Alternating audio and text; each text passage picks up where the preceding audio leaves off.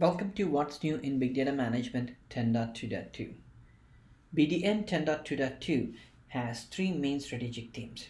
One being an enterprise class product in the big data ecosystems, two, to offer advanced Spark functionality, and three, to be available across clouds and across connectivity. Let's take a quick look at the enterprise class functionality that's available in 10.2.2 containerization support. It has been a very common use case for our customers to be able to replicate the environments such as creating a new QA environment to be able to certify or test some new functionality that they are building as part of their applications. Similarly, there are use cases around being able to automate the installation configuration and availability of an Informatica environment. With the containerization support in 10.2.2, you can build Docker containers and images and automate the overall flow using tools such as Kubernetes.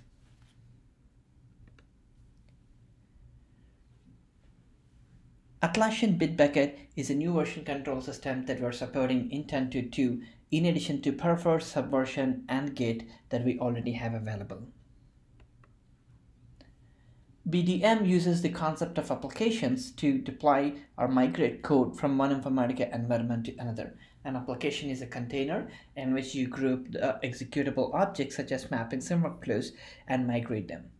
The incremental deployment functionality in 10.2.2 offers you the ability to modify an application, either add new objects or modify and update existing objects inside that application without having to have a overall downtime of the application. This is extremely helpful when you have mixed workloads such as uh, streaming mappings and batch mappings. Data Integration Service has seen tremendous amount of improvements and enhancements in 10.2.2. It is more robust and with hundreds of stability related enhancements under the hood, it is more stable than ever. The data integration service also has several enhancements in it that makes it well coordinated, especially when you have a multi-node data integration service such as a grid environment or a primary backup node use case. It's also much faster and will be able to submit jobs much faster to the data compute clusters and can also submit these jobs in a high concurrent fashion. In fact, it will be able to process about 6x more concurrent jobs in 10.2.2 as compared to the previous versions. Resiliency is now built in and data integration service can now handle crashes, failures, and unexpected scenarios in a much graceful fashion. For example, DAS queuing. This is one of the examples of the stability and robustness that we have improved in 10.2.2. So queuing itself existed all the way from 10.2.0. Now the new distributed and persistent queue not only allows us to be able to queue the job requests coming from the clients and automatically process across various nodes that you have as part of a DAS grid in a parallel fashion, but it also parses the queue. So if one of these nodes goes down, the other nodes will be able to pick the request up and when the node comes back up it will be able to continuously seamlessly take the additional requests coming through the queue. Big Data Job Recovery is introduced in 10.2.2. With this new functionality, when a DAS node crashes or there are network failures and the connection or communication between the Informatica domain and the Hadoop clusters or the big data compute clusters is lost, DAS will be able to resiliently recover and reparent to the jobs that are continue to run on the Hadoop clusters as if this failure has never happened. For example, you have a mapping that has a bunch of Spark tasks. You run the mapping, we submit the Spark job to the Hadoop cluster, but for whatever reason, let's say the communication network between the Informatica domain and the compute cluster is lost. When the communication network is restored, the DAS will now be able to talk to the Hadoop and understand the latest status of the job and then be able to seamlessly resume the job from that point of time as if the failure has never happened. This is also supported when you have external components such as Sqoop sources or targets as part of your Spark mappings. DAS has seen several performance enhancements in 10.2.2. It now requires about half footprint in memory as compared to the previous version 10.2.1 and can also load applications up to 14 times faster as compared to our previous releases. The data integration service itself now starts about nine times faster as compared to the previous releases and all in all can process tens of thousands of jobs and submit them to the uh, data integration services from the clients within less than two minutes. Mass ingestion is originally introduced in 10.2.1 and gave our customers a new way to be able to ingest thousands of database tables into HDFS or Hive. In 10.2, we are introducing incremental loads for mass ingestion, with this using the same web interface that is simple to use and a point and click interface.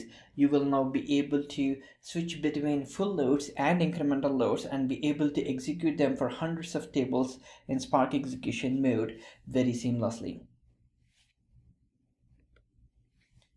The REST Operations Hub introduced in 10.2.2 allows you to perform REST queries to gather the monitoring statistics of any jobs that are executing on the Informatica domain. This includes being able to query the mapping statistics, the advanced statistics of mapping such as the source rows, target rows, error rows, the timestamps, start and end timestamps of various tasks within and so on you will also be able to get the execution steps for a given mapping. For example, if a given mapping has a Sqoop source and some transformations, you have a Sqoop job that's executing as well as the Spark job that's executing as part of the same mapping. And you will be able to get these details as well through the REST queries itself. The dynamic expression support, which is a tech preview feature introduced in 10.2, will now allow you to parameterize the entire expression for a given port in the expression aggregated on rank transformations. With this, you will not only be able to pass values into your mappings, but you can actually pass the logic itself that get, get processed as part of these transformations. So we have introduced a new parameter type called expression. Just create a new parameter and use it as if you're using any other parameter as part of these ports in these particular transformations. And you can pass the logic or the code itself at runtime. Now these are all great enhancements on the enterprise class functionality. Now let's take a quick look at the advanced Spark functionality that we have introduced in 10.2. The first thing that comes to mind is dynamic mappings with complex types. Dynamic mappings themselves have seen great amount of enhancements in 10.2. Now you can build dynamic mappings in conjunction with complex types such as arrays, structs, and maps, leading to dynamic arrays, dynamic structs, and maps. But at the same time, you can also use dynamic mappings with complex files, Amazon S3, Redshift, uh, Azure ADLS, Blob, and many more connectivities as part of using the dynamic mappings with complex types, you can build um, dynamic structs, arrays, and maps. So with this, you will be able to build powerful templates of mappings that can not only process primitive types of data, but also complex types of data coming from various ecosystems, either HDFS or uh, on-premise or cloud and also be able to build complex mappings that can either take the source changes and propagate those changes to your target systems or to adapt to the source changes but keep the target structure or retain the target structure to be the same. These are use cases are extremely helpful especially when you're doing relational to hierarchy or hierarchical to relational use cases. You can now also do a data preview on Spark. This functionality is a tech preview in 10.2.2 but allows developers to be able to debug complex mappings that have uh, complex hierarchies as part of them in a much more simpler fashion. As you can see on the screenshot over here, now you will be able to not only see the hierarchical data in the data viewer, but you will also be able to navigate and interact with the data. So as you can see in these screenshots, you can kind of expand, collapse these hierarchies. These hierarchies can be very complex, having a combinations of arrays, structs, and maps as part of them in conjunction with the primitive data types. You can also follow the breadcrumbs to um, identify what kind of level of detail you're going into for each given hierarchy and come back and forth and also navigate through various other hierarchies that are available. There are several DA functionality um, on Spark that have been extensively enhanced in 22. For example, mapping outputs are now supported in Spark. You can you build Informatica mappings that produce aggregated information and then apply uh, aggregation such as min, max, or sum on top of it, persist these values eventually, and then be able to kind of reuse them in the subsequent mapping runs monitoring also has seen several enhancements and uh, monitoring in Spark is now about up to 2x uh, as compared to the previous versions. Monitoring now also supports several additional transformations and functionalities such as update strategy transformation, SQL authorization, Hive ACID transactions, and so on. We have also introduced high precision support in 10.2 that can be used across Sqoop, Complex File, AWS, and Azure ecosystems, as well as in streaming use cases. The Python transformation, which was introduced in 10.2.1, has also seen several major performance enhancements and has a much more simplified configuration. The intelligent structure discovery itself now supports data-driven use cases. So as you interact with the machine learning models, if you pro provide a different file at the runtime or your data changes over a period of time and is no longer matching the same schema that you have provided as a sample when you began your uh, data pipelines. Now you will be able to see these additional attributes flowing into your mapping through the newly introduced unassigned data port and be able to make data driven decisions inside your BDM mapping Now let's take a quick look at cloud and connectivity aspects of BDM. On the HDFS connectivity now we have append fx's functionality. So you will not only be able to treat an entire logical directory as one single file, but now you will also be able to append new files into um, HDFS. Hive is now supported in native modes in conjunction with the Hadoop pushdown modes and you can use Hive sources and targets as part of the dynamic mappings as well. And as I'm going to talk about in my upcoming slides, schema drift is now supported in Hive. The Hive schema drift introduced in 10.2 now allows you to build complex mappings that can take sources that change over a period of time and make a decision about whether or not you want to propagate those changes to your target which is hive. There are several new strategies that have been introduced as part of hive schema drift. The create strategies allows you to replace your existing hive schema and with the new schema that we're receiving from the source but at the same time you also have the functionality to be able to propagate only new columns coming from your source or even modify the column data type changes from your source or to be able to fail a mapping in case the source schema no longer matches with the target schema so that a business analyst can look at the differences in the schemas and then make a decision in terms of how these changes have to be propagated. The complex file data object has seen several enhancements including dynamic mapping support, create target support for additional file formats. We now also have the support for being able to provide a file name port for both reading as well as writing use cases and also wildcard character support.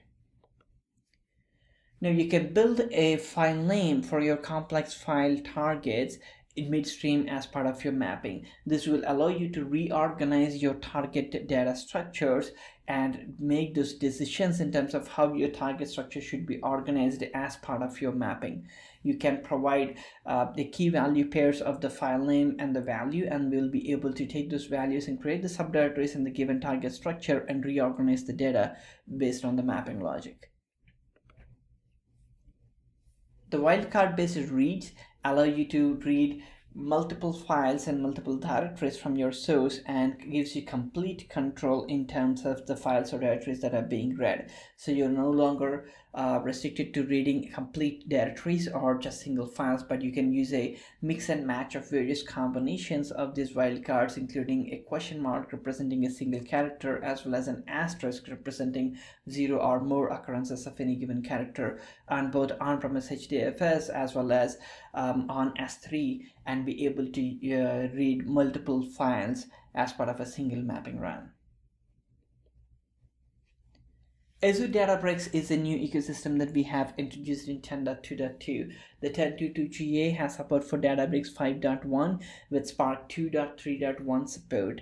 Um, the functionality itself works very similar to um, the way HD Insights and Amazon AWS works in terms of being able to automatically provision an ephemeral cluster.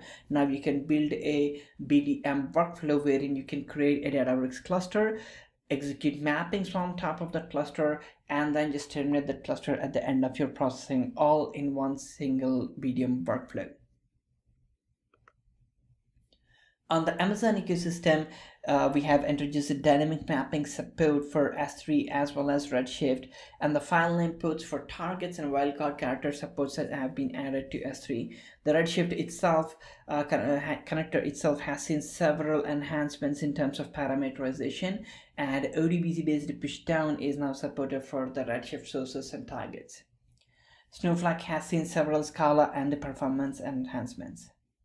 On the Azure ecosystem, all the connectors are now supported on the Databricks and dynamic mapping support has been introduced for blob and ADLS.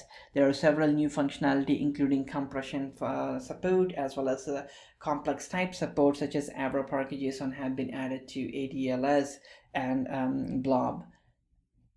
Several performance enhancements including Spark optimizations have uh, been applied on Azure DW connectors. The Google ecosystem itself has now four new connectors, Google Cloud Storage, Google Spanner, BigQuery, and Analytics, all of them supported both on native and Spark modes using the latest Google APIs. The Google Cloud Storage also supports various complex file formats including Avro, Parquet, JSON, as well as the support for binary data types. In summary, Big Data Management 10.2.2 allows you to build complex applications that run at scale with ease. You will be able to operate your big data management environment um, at scale using several functionalities such as monitoring via REST queries and incremental deployment. And now you can also use the same great big data management for next-gen use cases such as serverless functionality using data Databricks and data drift with machine learning using intelligent structure discovery. Thank you for watching this video and for more such informational videos, please visit our Informatica network at network.informatica.com.